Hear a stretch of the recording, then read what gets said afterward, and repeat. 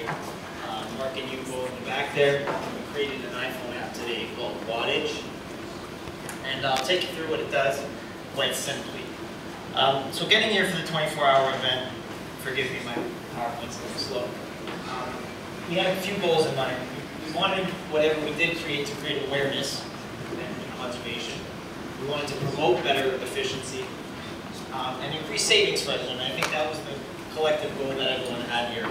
Um, but what we wanted to do was focus on a really particular part of energy conservation that many people might not pay attention to and take that and use it, um, utilize it, make it engaging for the user to really improve upon the small things to make a larger benefit. And what we came up with was peak hours. Um, so you, not, you may not know that on a daily basis, the energy you use differs and can vary from 35 to 50% based on what time of day, time of night, how many people are using energy in your neighborhood, whether it's a weekend or a weekday, um, in the summer or the winter, of course.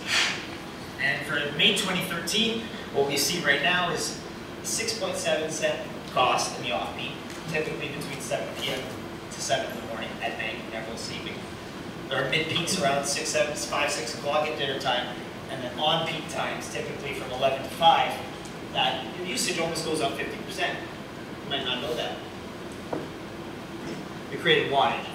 It's a little iPhone app that recommends the best times to use your appliances and electronics based on local and real-time peak hour energy rates.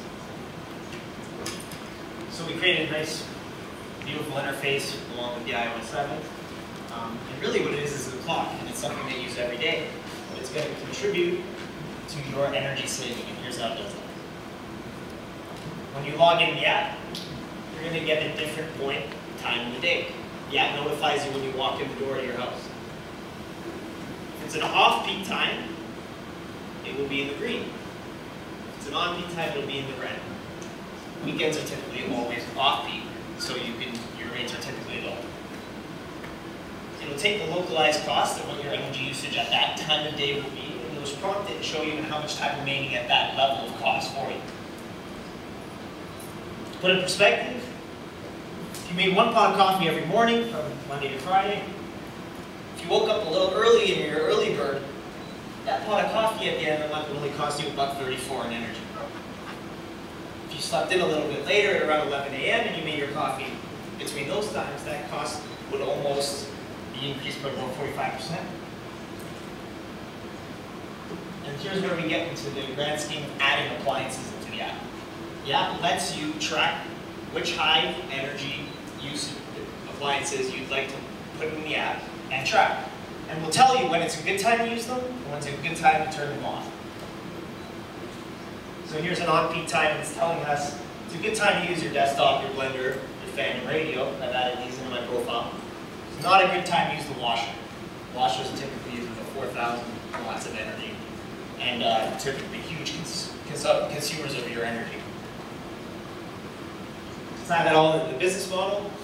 Target video delivery and advertising based on your monthly usage, your costs, and the appliances you've added. So we can recommend better appliances for you if we know that you're using these and you're tracking these ones. We can deliver targeted government incentives and benefits based on the ones you're using. And we can also offer a premium version for 99 cents. You can turn off the lights from the app, stuff like that. So everything I showed you actually is working, and Peter's going to give a live demo of it. And hopefully we'll have it up in the App Store in a few days.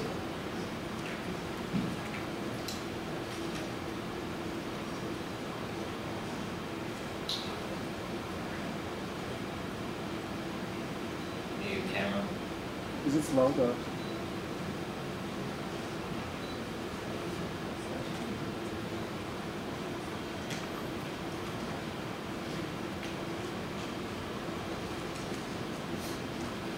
The app will send you a push notification when the time goes from a green, good period use energy, to a yellow, to a red, and it'll give you, it'll send you a little push each time that happens. That way you can prompt the app, check which appliances that you have loaded in, and turn off and turn on the ones as recorded. So a really simple way to change a small habit that can end up really yielding a lot of savings at the end of the day. You can also check your week's usage, of course, and, and really take all your Green Button data and see how you're doing it during the week, month. Great. Time's up. Thanks so much, Qriket.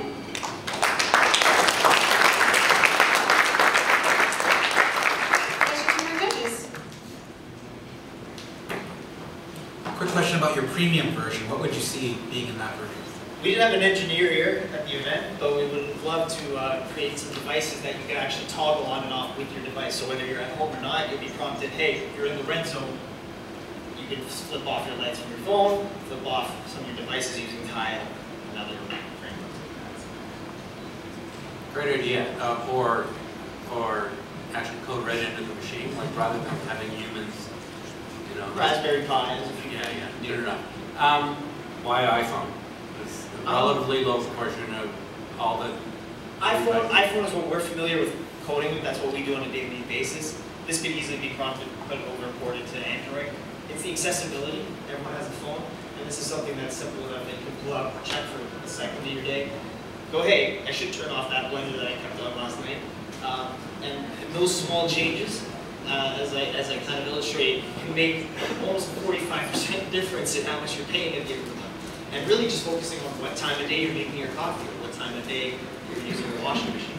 I know that in the research I've done here today, I already know, hey, it's probably not a good time to, you know, wash my clothes between eleven and five, I'll do it at night. Uh, because it's costing me almost double, so.